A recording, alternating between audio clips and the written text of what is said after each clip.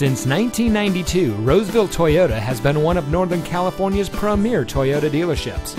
And here's another example of a great vehicle from our huge selection of quality pre owned cars, trucks, and SUVs.